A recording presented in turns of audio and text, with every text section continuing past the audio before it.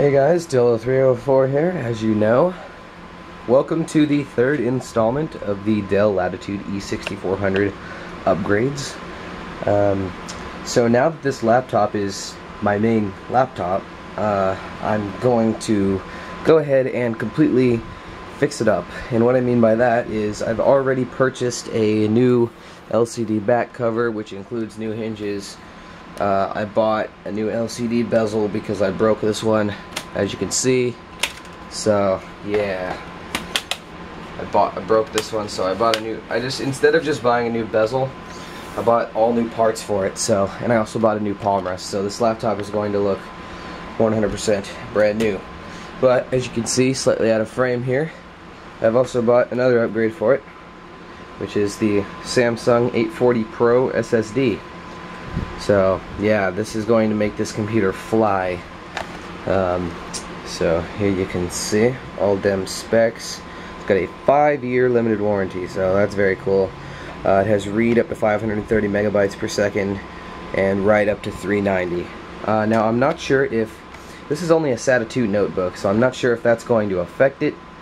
Uh, but you know, other either way, I don't really care. It's still going to be very, very, very fast. Uh, so I don't I don't really care that much.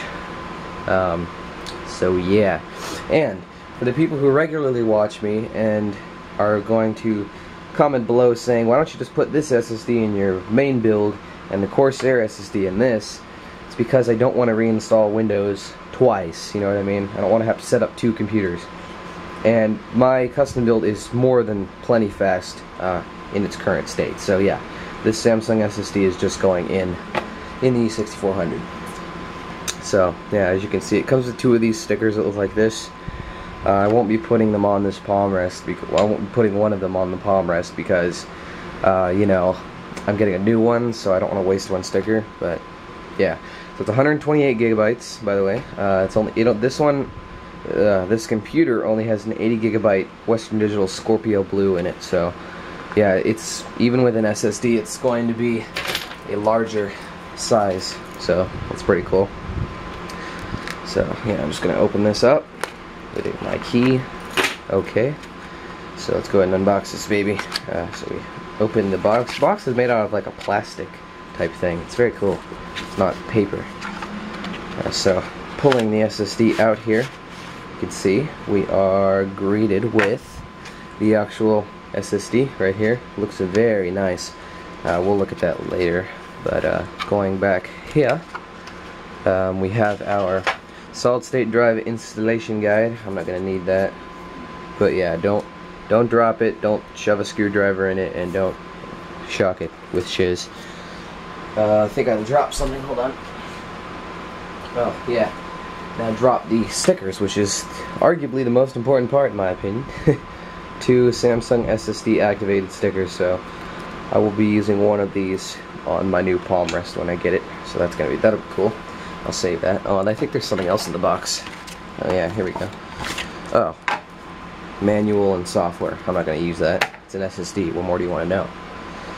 So, if we go ahead and remove the SSD from the packaging here, wow, very light, as are all SSDs, and it has a really, really nice touch. Uh, it has a nice silver chrome uh, accent around the entire drive. I think that looks really good. And it's orange in some places, which is cool, because orange is my favorite color. 840 Pro, there you go, 128 gig. This is very cool. This is going to be awesome. So, I'm going to go ahead and grab my screwdriver. We'll go ahead and flip this laptop over, being careful not to damage it any further than it already is uh, yeah, like I said, can't wait to get all that new, that new stuff. So all you have to do is unscrew these two screws that hold in the hard drive, and then it slides right out, like so. I think that's, oh. Okay, I think it's out now. So now, we just flip the laptop over real quick, get the screws out. Uh -huh. two screws flipping the computer back over once again. You can pull the hard drive out now, I think. Yeah, there we go.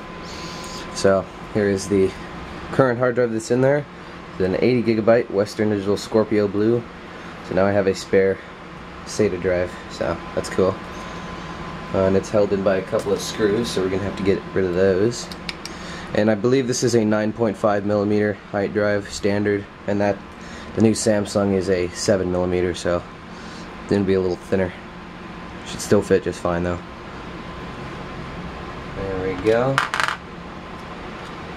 One screw. Oops.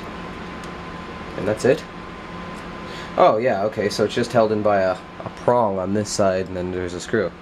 Very cool. So comparing the the thickness, yeah, the Western Digital is definitely definitely a lot thicker as you can see there, but that shouldn't matter. Let's wipe off the Samsung drive. This thing looks really nice, I swear. Uh, so here we go. I believe it goes on like this. Uh-huh. There we go. Oh, I see. Okay, yeah, it's gonna work fine. I take this screw. See if I can get it in the camera. I put it on there. I take my driver of screws, in there, screw this puppy in there. Yep, yep. There we go. It could be a little tighter. That's better. Okay. So there we go. We now have the SSD on the caddy. Let's go ahead and slide it back in. There we go. Screws line up. Everything is hunky-dory. Put this in there. Screw that in. Very short screws, so it doesn't take much to screw them in. Okay, there we are. Um, let me actually, okay, there. Just turn down my fan so it shouldn't be too noisy in there. Yeah, now we have one Samsung 840 Pro SSD in there. Let's put the whole hard drive in there and keep it in the box. Why the hell not? Now, I'm going to flip the laptop over. I'm going to wipe it off even though I'm getting an entire new assembly I still care. And it doesn't stay closed all the way either because I messed up this front, this corner, so the bezel does not stay on over there. But if we open her up, there we go. I'm just going to keep the camera right here because it's a really good angle and has really good lighting from the window behind the camera. So, very cool. So there we go. Let's go ahead and give her a plug in. And then we shall turn it on. F2 for setup. Okay. And system information is recognizing the 128 gigabyte SSD. I know you can't see jack shiz, but we will zoom in for you guys there. Whoops, sorry. As you can see, if it focuses, yep, there you go, 128 gigabyte HDD, even though it's an SSD. Uh, before I do this, I'm going to go ahead and change the Okay, well that was strange. My camera just gave me a lens error. I guess it didn't like that. Alright, so zooming in. There we go. That's good enough.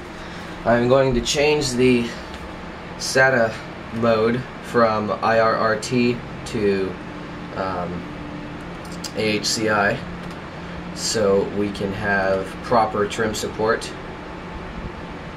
Yes. Attention, the E model E module. Oh, okay. Yeah, okay. Good. Yes. Let's apply. Okay. So I applied the settings. Now I'm going to open my drive and go get my Windows 7 uh, 64-bit uh, installation disk. There we go. So, yeah. Alright, let me go get my disk.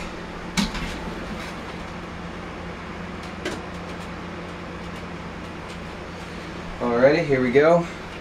This is Windows 7 Home Premium, but yeah, it's kind of gay. I have professional.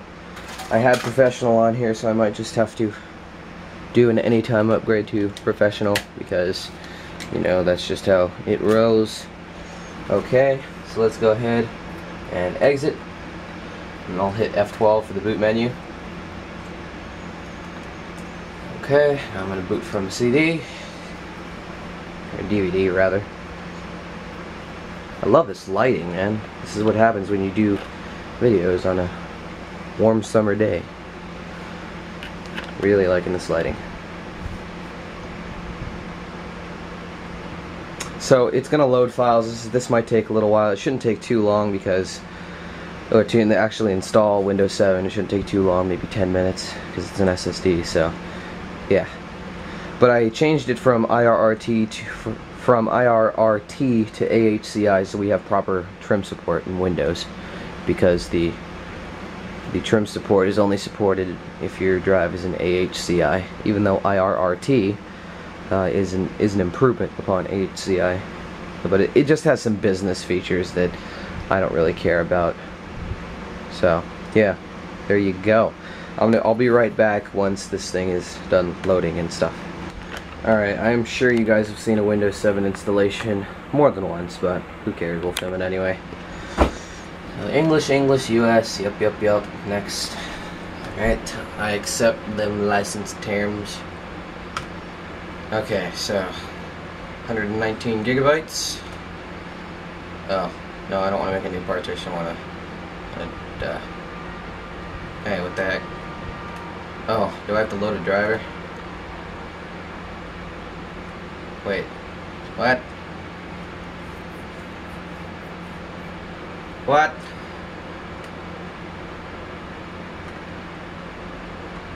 What now?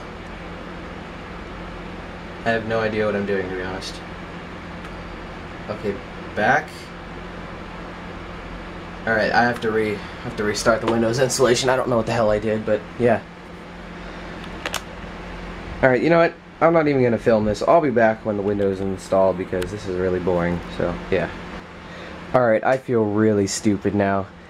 Um, I'm used to when you get a new hard drive, there's a partition on it already, so I didn't even pay close attention, but it, I, I just looked, I just remembered and looked at the video again, and it said un, it said unallocated space, so yeah, kind of a waste of time. I could have just, yeah, I, I, sorry, it's my fault. I thought it said it, there was a partition on it, so yeah, you don't even need to format it. Anyway, yeah, I'm just gonna, I'll film some parts of the installation, but, you know, not a lot, because you guys have seen this a thousand times, I know. A word about the so-called bottlenecking that's going to happen here. The only sort of bottlenecking is going to be the sequential read and write, which, you know, is copying files. It's going to be limited to whatever SATA 2's top speed is. I think it's 300 megabytes a second or something. I don't know. I, I, don't, I don't know this crap off the top of my head. But whatever SATA 2's maximum, you know, speed in terms of, you know, sequential, you know, file transfers is going to be bottlenecked. I'm not going to get the whopping 530 megabytes per second read and 390 megabytes per second write. I'm not going to be getting those speeds. But the what matters is the random read and write, which is which is actually what makes an SSD feel fast. It's not the file transfers, it's the random read and writes. Uh, in that respect, it's not going to be bottlenecked um, because you're only getting 20 to 60 megabytes per second uh, in terms of random read and write versus 0.5 to like 2 megabytes per second on an HDD. So it's still going to be very, very fast. The only thing that's going to be bottlenecked is the file transfer speeds, but you know, I don't copy super huge files, you know, from computer to computer or from hard drive to hard drive. Like I don't have a, a, a solid state drive, uh, you know, an external solid state drive, so that's not even gonna matter anyway.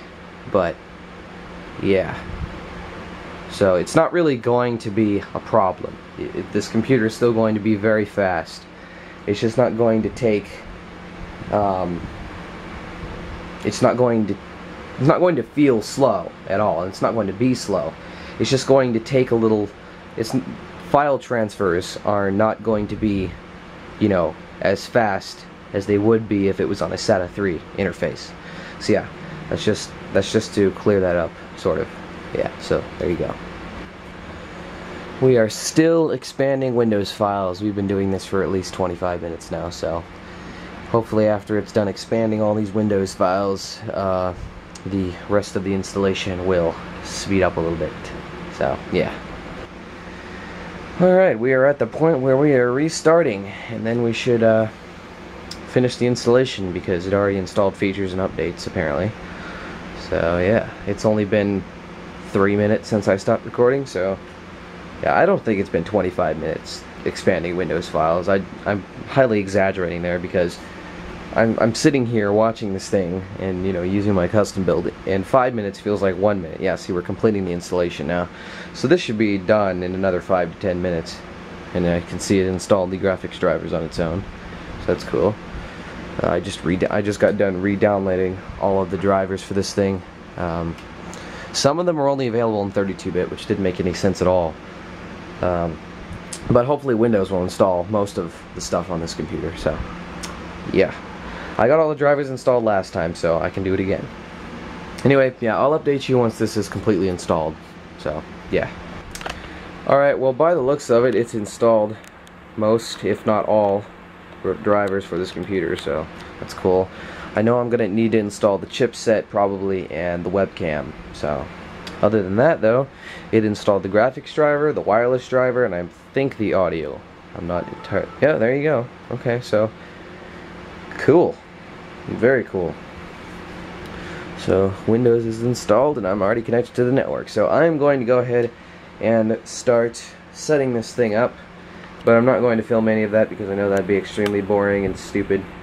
Uh, because you guys have seen, you know, the SSD uh, or Windows installation so many times. So, yeah, that is going to have to do it for me, guys. Um, but, yeah, this computer ought to be a lot faster with the Samsung 840 Pro SSD. So I'd like to thank you guys for watching this upgrade video, and I will have another upgrade, well it's more of a repair, but it's an upgrade in my eyes, uh, video next week. Um, I will be replacing all of the casing on this laptop, the palm rest, the bezel, and the back cover. I'll accept everything except the bottom, bottom assembly basically. So yeah, definitely stay tuned for that. I will be filming that, but yeah, this computer should be really awesome now. So, yeah, thanks for watching. This computer has made in a very, very stark improvement in terms of how fast it is. It is so fast now. It installed all of my drivers automatically, which was very cool. I didn't have to install anything. Everything worked automatically. I don't know why my... Oh my, it's because of the display, but... Yeah, anyway. That is the, uh, the upgrade video for the Dell Latitude E6400 laptop. Um, now it has a Samsung SSD, so that is pretty much it for the hardware upgrades in terms of the specs and the actual hardware in this laptop. Uh, the specs it has now, it's probably going to stay like that for a while because I don't need. Uh, I was thinking about going with 8 gigs of RAM for this thing, but $200 for 8 gigabytes of RAM seems like just a little bit too much for me so I'm not gonna do that. Uh, wish my camera wouldn't make wouldn't like focus on the screen. I have to point it down. Yeah. Uh, but anyway, yeah, the specs that's gonna the specs it has right now, it's gonna stay like that. So, yeah. So definitely, like I said, stay tuned for the uh, the upgrade video next week where I replace um, almost the entire housing of this laptop to make it look brand new. So, yeah. Yes. Yes. Yes. Here are my uh, um, test speeds for my SSD. Uh, so as you can see, we are getting about just about the maximum possible on SATA 2. So, yeah, pretty sweet in my opinion. Uh, even though I'm not getting 500, um, close to 300 is more than alright. So, yeah, very cool. I think this was one worthy upgrade.